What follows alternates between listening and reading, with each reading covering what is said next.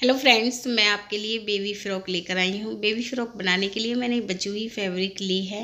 यदि आप fresh fabric में से बनाएँ तो एक मीटर फैब्रिक लगेगी। फैब्रिक को फुल लेयर में फ़ोल्ड करेंगे। फ़ोल्ड करने के बाद टॉप की लेंथ लेनी है। टॉप मैं नौ इंच की तैयार करूँगी तो लेंथ में दस इंच ले रही हूँ। दस इंच पे मार्क करेंगे और लाइन ड्रॉ करेंगे। ये बेबी फ़्रॉक में छः से सात साल के बेबी के लिए बना रही हूँ और यहाँ से हम फैब्रिक को कट करेंगे। तो टॉप के लिए मैंने फैब्रिक को कट किया है।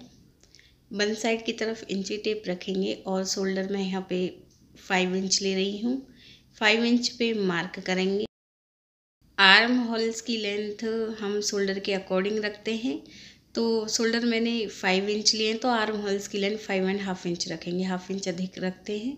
जैसे कि चौड़ाई है ट्वेंटी इंच, बीस इंच, फोर्थ हुआ फाइव इंच और एक इंच फैब्रिक हम अधिक ऐड करेंगे तो सिक्स इंच पे मार्क करेंगे और वन इंच फैब्रिक हम मार्जिन के लिए ऐड कर रहे हैं। दूसरा मार्क सेवन इंच पर करेंगे। बेबी ड्रेस में कमर की ड्राफ्टिंग हम चौड़ाई के अकॉर्डिंग करते हैं। चौड़ाई हमने सिक्स इंच रखी है तो हम हाफ़ इंच फैब्रिक कम रखेंगे कमर में तो यहाँ पे हम साढ़े पाँच इंच पे मार्क करेंगे। और एक इंच फैब्रिक मार्जिन के लिए ऐड करेंगे और फिर हमें इस तरह से लाइन ड्रॉ करनी है। आर्म होल्स की ड्राफ्टिंग हम वन इंच पर करेंगे तो इस तरह से आप गोलाई करें। फिर इस लाइन से हाफ़ इंच की दूरी पर दूसरी लाइन ड्रॉ करें। ये फ्रंट आर्म होल्स की ड्राफ्टिंग होगी। वन साइड की तरफ़ इंची टेप रखेंगे। गले की चौड़ाई हम तीन इंच रखेंगे थ्री इंच लेंथ हम डेढ़ इंच रखेंगे बैक गले की। ऐसे हमें बॉक्स बनाना है। हाफ़ इंच पर गोलाई करनी है। फ्रंट गले की लेंथ हम रखेंगे टू इंच टू इंच तक हमें ऐसे लाइन ड्रॉ करनी है। फिर बॉक्स बनाना है। हाफ़ इंच पर गोलाई करनी है। शोल्डर हाफ़ इंच डाउन करेंगे। ड्राफ्टिंग हो गई है कटिंग करेंगे। पहले बैक गले की कटिंग करेंगे। दोनों फैब्रिक हम साथ में कट करेंगे बैक गले की। फिर बैक आर्म होल्स की, फिर साइड से। एक पीस अलग करेंगे, दूसरे पीस को हम अच्छे से फोल्ड करना है। फ्रंट गले की कटिंग करेंगे और फ्रंट आर्म होल्स की कटिंग करनी है। टॉप पीस की कटिंग हमारी कंप्लीट हो गई है। एक बार मैं आपको रख के दिखा रही हूँ। और ये फ्रॉक मैं फ्रिल वाला बना रही हूँ, जो बची हुई फैब्रिक है। हमारी कुर्ती से बची हुई थी ये। और इस स्टेप की जो लेंथ है, वो मैंने आठ इंच ली है, एट इंच।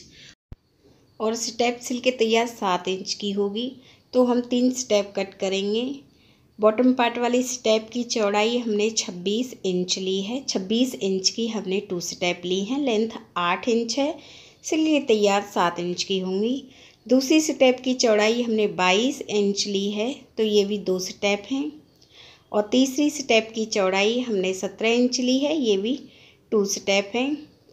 और ऐसे ही ये तीनों स्टेप सात सात इंच की तैयार होंगी। तो बॉटम जो स्कर्ट पीस रहेगा, वो हमारा इक्कीस इंच का होगा।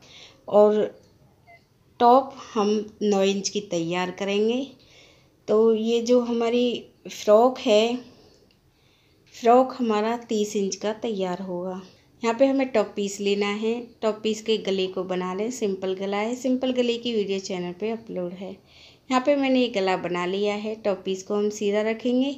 अब हमें सत्रह इंच वाली स्टेप लेनी है, इसे उल्टी तरफ़ से रखना है और इसमें हमें छोटी छोटी प्लेट्स भरनी है। ऐसे आप पूरे पीस में ये प्लेट्स भर लें।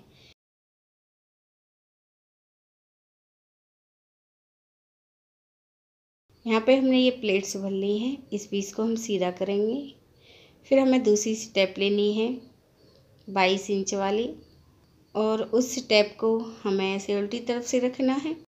और इसमें भी हमें छोटी छोटी प्लेट्स भरनी हैं। तो यहाँ पे हम इसमें भी छोटी छोटी प्लेट्स भर रहे हैं। डेढ़ इंच की दूरी पर हमें बहुत ही छोटी इसमें प्लेट्स भरनी है।